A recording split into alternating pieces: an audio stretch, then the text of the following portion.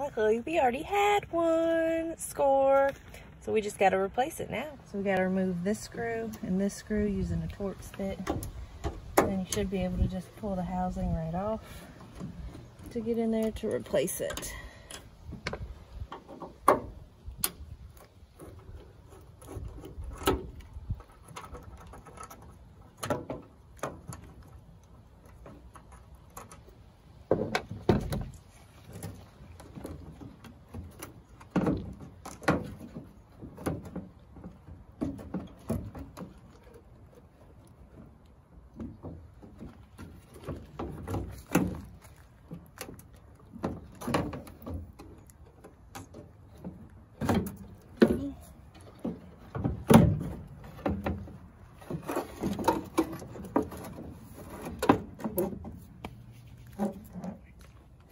This way locks it, so we just got to turn this opposite way.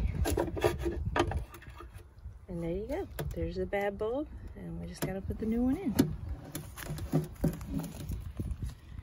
This is the 3157.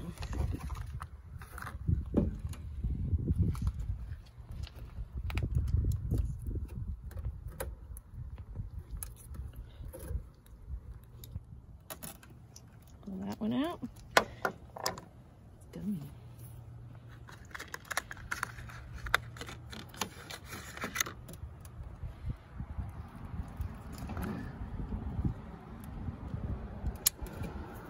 Put it back in.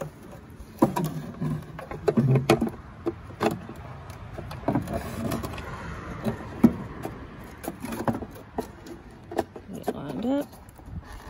Lock it back in.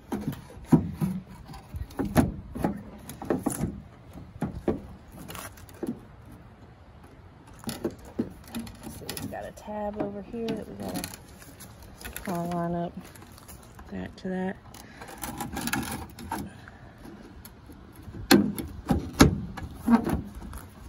Ta-da!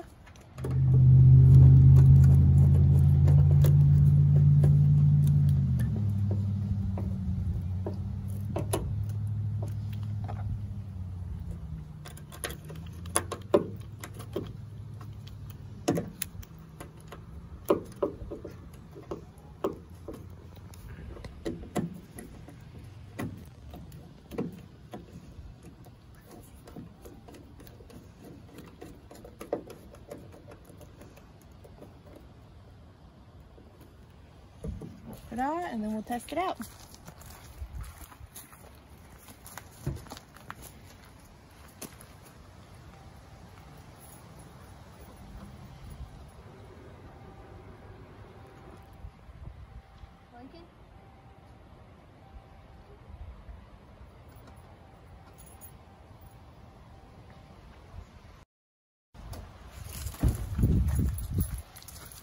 That's how it's done. Thanks for watching.